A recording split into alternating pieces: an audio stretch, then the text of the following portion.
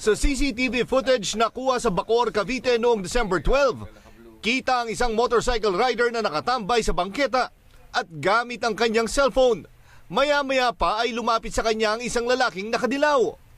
At nang dumating ang armored vehicle na magdadala ng pera para sa money changer, biglang nagsuot ng bonnet ang motorcycle rider. Ang lalaking nakadilaw, lumakad papuntang armored vehicle.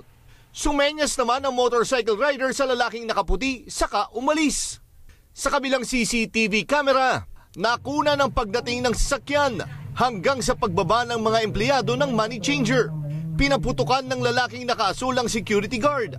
Ang isa pang lalaking nakaputi ay makikita naman na pilit inaagaw ang bag ng pera mula sa isang empleyado. Isa pang empleyadong nasugatan sa binti naman ang tumakbong paikay-ka sa kanilang shop. Paglabas namin ng pinto, bigla may humablot kinil. Sa, sa kabila siya ng sasakyan. Tapos nagpaputok na yung isa yun sa kanan.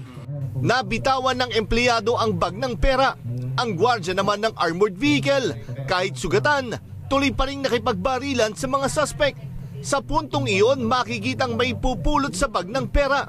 Sa isang CCTV, kita ng dala ng lalaking nakadilaw ang bag at saka sumakay sa minibus na sinakyan ng lalaking nakaputi. Rumispondi ang mga pulis pero hindi nila alam na sa nilagpasan nilang minibus sumakay ang mga suspect na may dalang pera. Killing zone nila yun, killing zone. Kasi yun ang may hawak ng pera eh.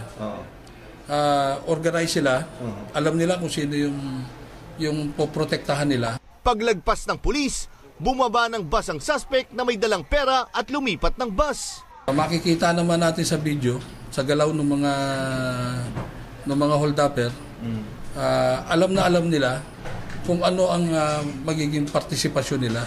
Mahigit kalahating milyon ang natangay ng mga suspect. Pang-apat na beses ko na itong hold up dito sa Bacoor.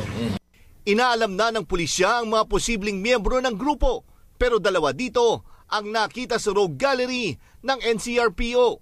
Isa sa kanila ay miyembro mano ng Martilyo Gang. Jack Batallones, ABS-CBN News.